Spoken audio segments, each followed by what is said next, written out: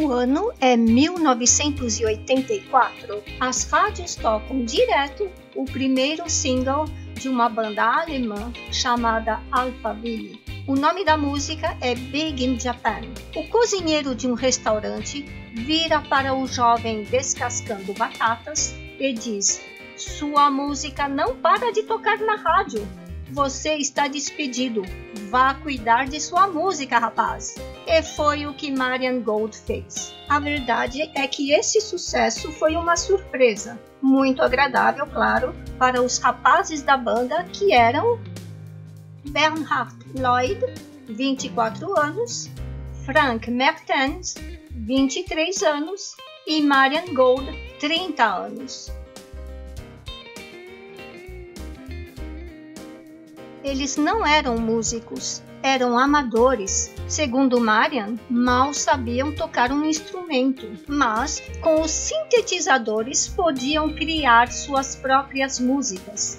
Estavam vivendo um sonho que se tornava realidade. Até então, eles ignoravam que tinham composto dois dos maiores sucessos mundiais. Marian diz que se soubessem, teriam ficado muito nervosos. Big in Japan foi lançado como single em 12 de janeiro de 1984. Eles se tornaram da noite para o dia pop stars. Head over heels. Eles não estavam preparados para isso. Estavam em plena produção do álbum Forever Young. A música com este título viria a ser a música com mais covers de todos os tempos na gravadora disseram: Parece que vocês sabem produzir hits. Então vamos pedir para que vocês façam mais um antes do lançamento de Forever Young. E fizeram em dois dias a música na qual já estavam trabalhando, Sounds Like a Melody. Marian, que não gosta que lhe digam o que fazer, pegou birra da canção por muito tempo por ter sentido que lhe impuseram algo, mas agora reconhece que ela é muito boa e a toca ao vivo também. Um documentário mostra como foi feito o álbum Forever Young. Descobrimos que há muitas pessoas envolvidas e responsáveis pelo resultado final. As músicas ficaram perfeitas, como todo mundo já sabe mas deu trabalho. Marian teve que repetir várias vezes a primeira linha de Forever Young para conseguir a pronúncia correta em inglês britânico da palavra dance. Levou horas para que a música fosse gravada com a pronúncia certa, junto com a entonação certa, no tempo certo. Confiram tudo isso no documentário do primeiro link da descrição foi a genialidade destes três rapazes que produziu o álbum Forever Young. Mas os holofotes costumam cair sobre o vocalista, que acaba ficando mais em evidência apesar da beleza e talento dos outros integrantes. Assim, vamos conhecer a vida e apreciar a beleza de Marian Gold.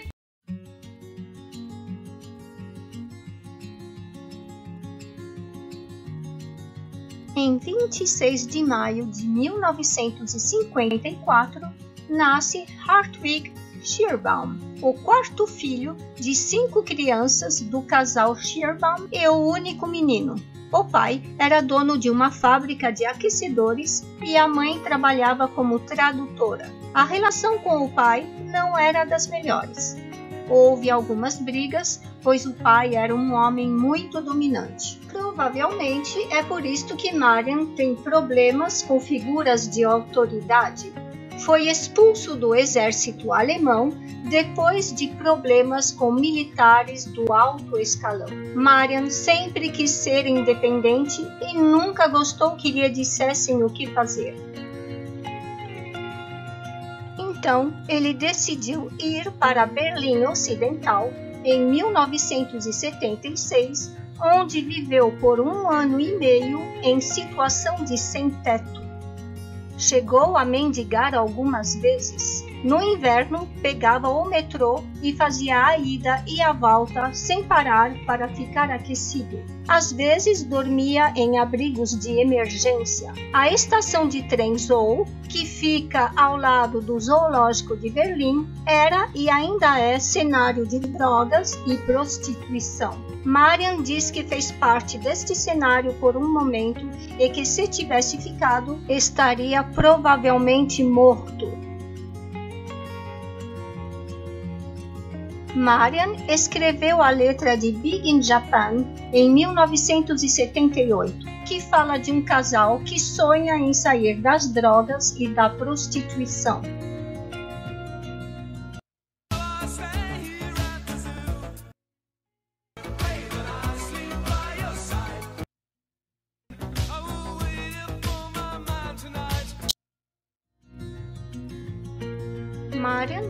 Diz que a canção Forever Young é igualmente deprimente, pois não se trata de juventude eterna, e sim de envelhecer. O que podemos dizer? É na adversidade que nascem as melhores composições. Em 1980, Marian vai para Münster,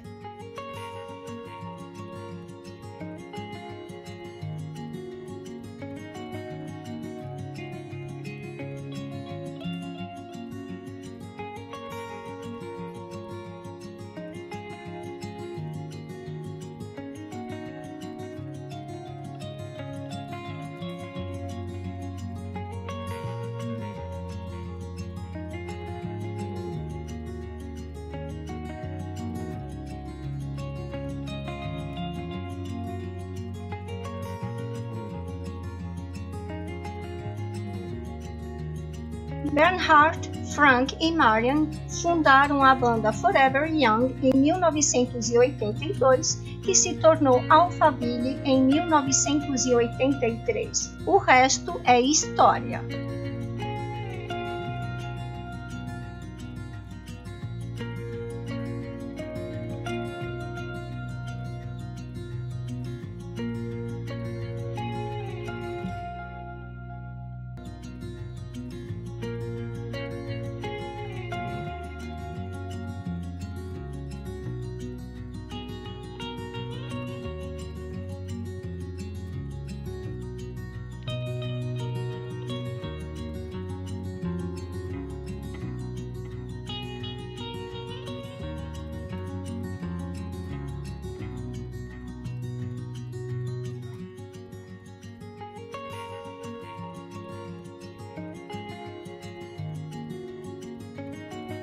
Marian conta que quando se apresentou pela primeira vez na televisão, estava tão nervoso que não sabia se ia conseguir chegar até o microfone. Em geral, as apresentações eram com playback. Aqui, Marian canta num programa francês ao vivo sem playback. O link está na descrição. Somente em 1993 o Alphaville começou a fazer turnês para apresentações ao vivo. Isto porque até então não se sentiam bons o suficiente. Ele teve que fazer aulas de canto aos 38 anos porque estava tendo problemas com a voz e queria ser mais profissional. Écoutez Alphaville.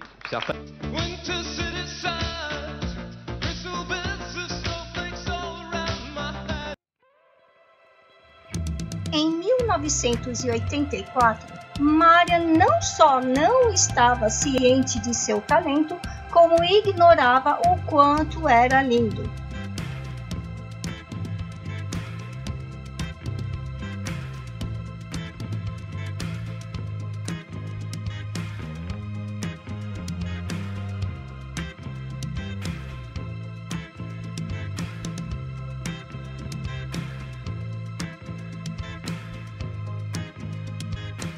Marian Gold tem um dos rostos mais camaleônicos do planeta. Algumas pessoas acham que ele se parece com Freddie Mercury.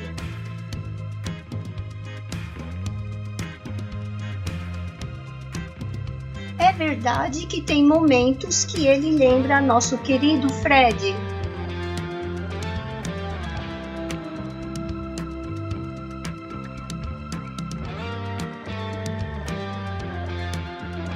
Mas também acho que ele se parece com Billy Burr, o ator que fez o filme Um Crime de Mestre com Ryan Gosling e Anthony Hopkins. O que vocês acham?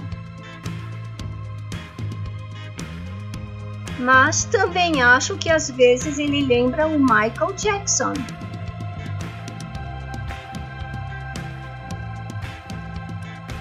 Ringing of your laughter, it sounds like a melody. Os fãs amam seu sorriso.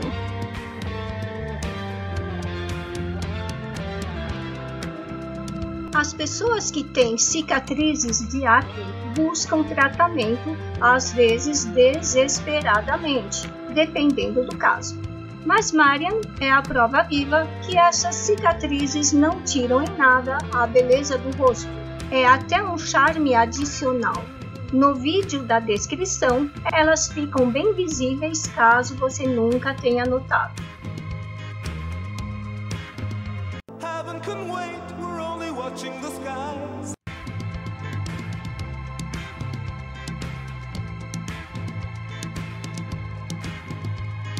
Com o sucesso, a vida virou de cabeça para baixo e Marian começou a mostrar sinais no corpo, como as olheiras nesta foto.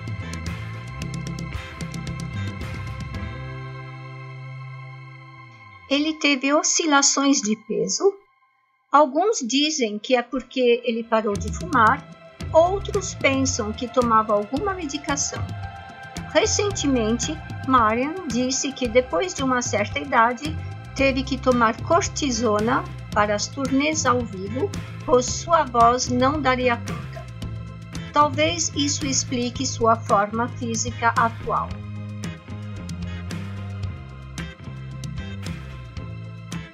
Marian nunca aparece igual nas fotos. Às vezes nem o reconhecemos. Com a maturidade, Marian foi mudando.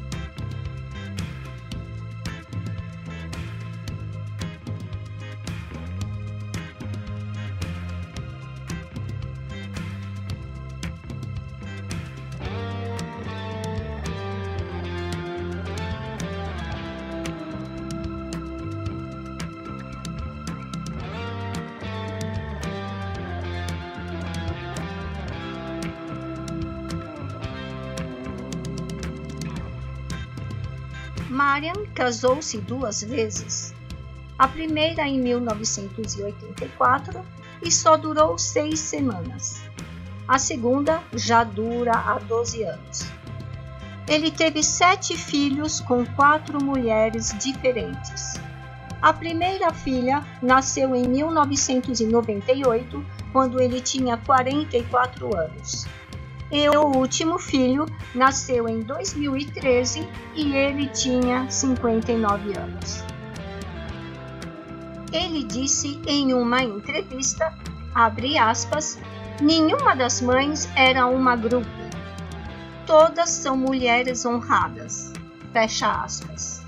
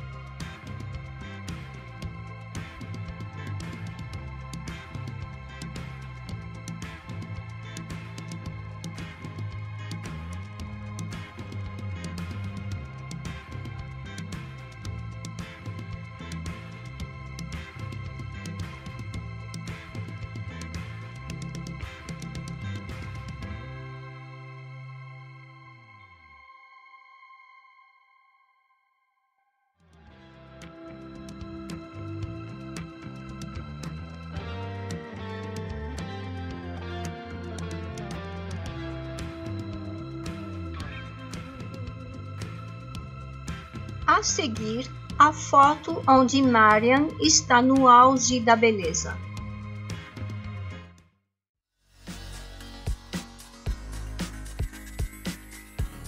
You're beautiful, you're beautiful, it's true. Um brinde ao talento, à genialidade e à beleza de Marian Gold.